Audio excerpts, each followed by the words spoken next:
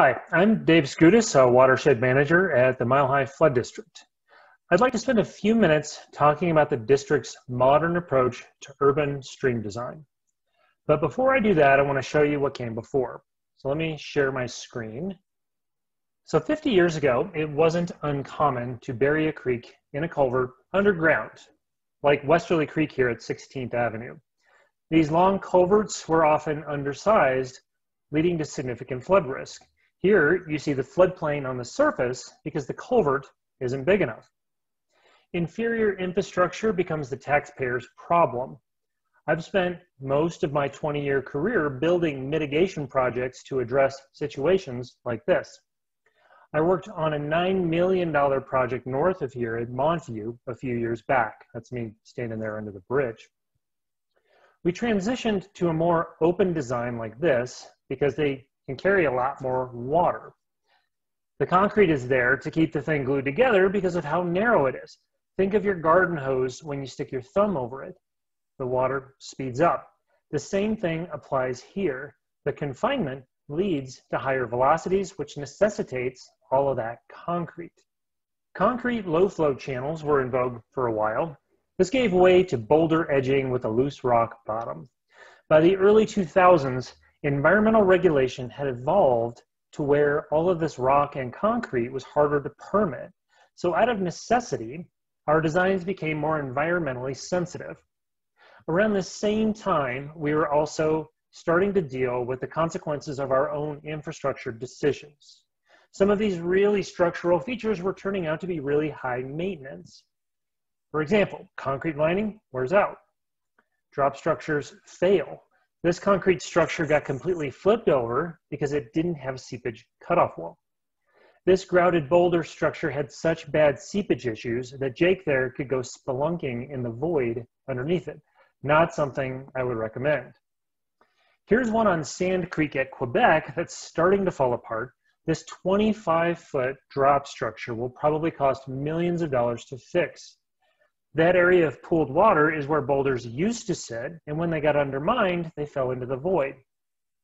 Here you can see the hole goes further back, so it's a matter of time before the whole thing crumbles. Here's a picture of our modern ideal, a naturalized channel design that allows the water to spread out when there's more flow, instead of getting deeper and deeper when there's more flow. Wider instead of deeper makes it possible to achieve stability with vegetation instead of a bunch of rock and concrete. It puts less stress on the bed and banks.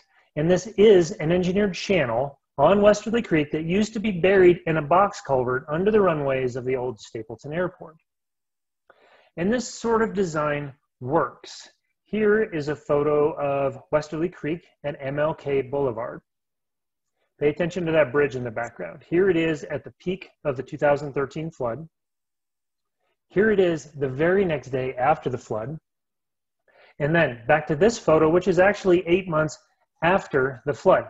These images show you how we've learned to build better infrastructure. Mimicking natural processes to create infrastructure that looks like nature, something we call high functioning and low maintenance streams or HEFLMs. I know that sounds goofy. Uh, if we could think of a better acronym, we would have by now. The function part includes flood protection through stormwater conveyance and resilience. It also includes ecosystem services, water quality, recreation, protection when there is a flood, value on sunny days when there's no flood.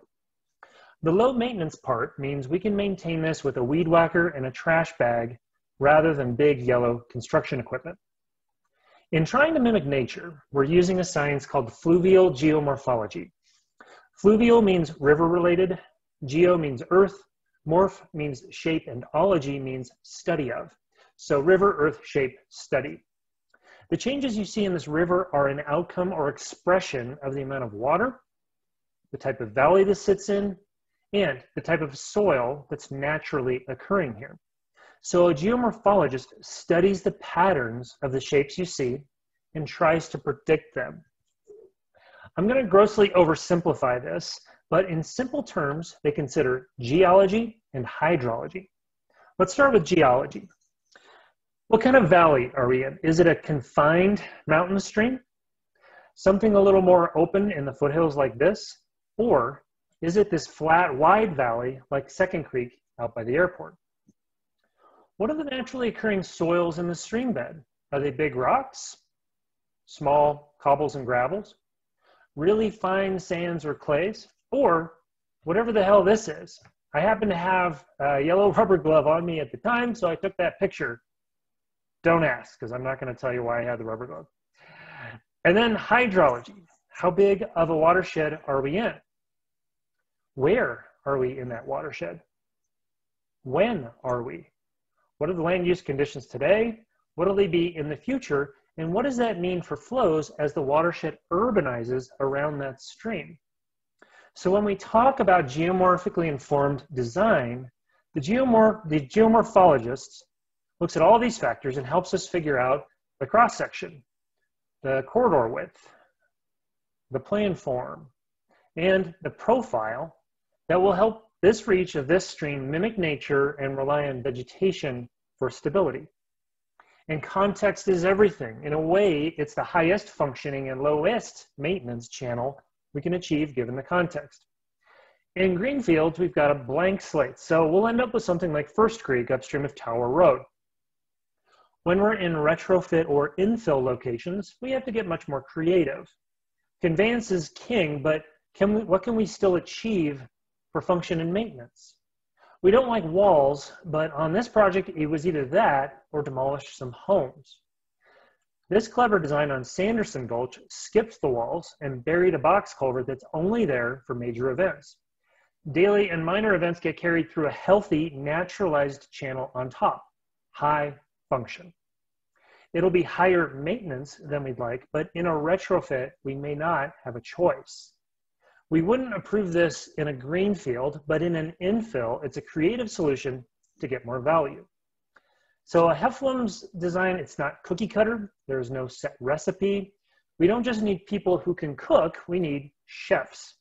That's where geomorphologists come in. At the site planning stage, we need their help in defining the corridor that's necessary to preserve for the creek.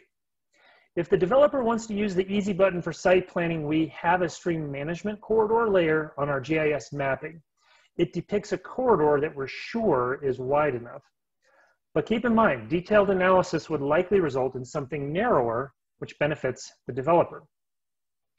During preliminary and final design, the geomorphologist helps with that cross-section, plan form, and profile in concert with the engineer and an ecologist to design a plant palette that helps us achieve stability. This is what we do on our own projects, and it's what we expect from developer built projects as well.